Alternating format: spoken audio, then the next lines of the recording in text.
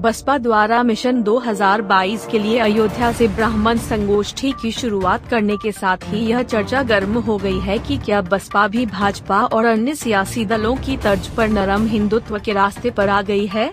कमोबेश उसके ब्राह्मण सम्मेलनों के समय और स्थान में अयोध्या, मथुरा और वाराणसी के शामिल होने और अयोध्या में रामलला के दर्शन के साथ सम्मेलन की शुरुआत करने को लेकर ऐसे सवाल उठना लाजमी है। बहुजन समाज पार्टी ने वर्ष 2007 की तरह इस बार फिर से सोशल इंजीनियरिंग की कवायद शुरू की है।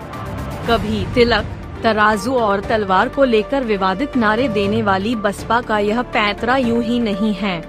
दरअसल, वर्ष 2007 में ब्राह्मणों के साथ ही क्षत्रियों को संग लेकर बसपा अपने बलबूते सत्तारूढ़ हुई थी। वक्त के साथ उसकी सोशल इंजीनियरिंग की धार भोथरी हो गई। विधानसभा चुनाव 2017 में बहुजन समाज पार्टी के वोट बैंक में वर्ष 2007 की तुलना में 8.2 फ़ीसदी की गिरावट हो गई। यह क्रमश वर्ष 2012 में 25.95 फ़ीसदी रहा था और वर्ष 2017 में 22.23 फ़ीसदी के साथ सिर्फ़ 19 सीटें आई थीं। बसपा ने अब वोट प्रतिशत बढ़ाने के मद्देनजर ही 75 जिलों में ब्राह्मण संगोष्ठियाँ करने का फैसला किया है। इसके तहत मथुरा, काशी और प्रयागराज में कार्यक्रम होंगे। ऐसे में बसपा के वरिष्ठ नेताओं द्वारा अयोध्या में रामलला के दर्शन करने की तरह ही अन्य मंदिरों में भी दर्शन कर कार्यक्रम शुरू करें तो हैरत नहीं। राजनीतिक विश्लेषक पूर्व आई अरुण कुमार गुप्ता कहते हैं, बसपा को यह बखूबी एहसास हो चुका है कि बिना बेस वोट बैंक में अन्य मतदाताओं को जोड़े उसका सत्ता हासिल करना मुश्किल है। लिहाजा अब यह नरम हिंदुत्व या यूँ कहें ब्राह्मण वोट कार्ड खेलकर भाजपा के वोटों में सेंधमारी की कोशिश की जा रही है। गौरतलब है कि सपा मुखिया अखिलेश यादव कुछ दिन पहले ही चित्रकूट के दौरे पर गए थे।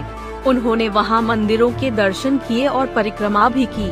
अखिलेश कहते रहे हैं कि राम भाजपा के ही नहीं हैं, बल्कि उनके तो राम और कृष्ण दोनों हैं। अपने वोट बैंक के साथ ही ब्राह्मणों को जोड़ने के लिए उन्होंने भी ब्राह्मण नेताओं को टिकट दिए।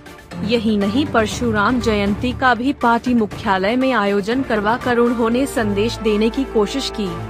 कुछ इसी तर्ज पर प्रियंका व राहुल गांधी भी यूपी दौरों के दौरान चुनाव प्रचार की शुरुआत किसी न किसी मंदिर से दर्शन कर करते रहे हैं। अब बसपा का यह नया दाम कितना असरकारी होगा, यह मिशन 2022 के परिणाम बताएँगे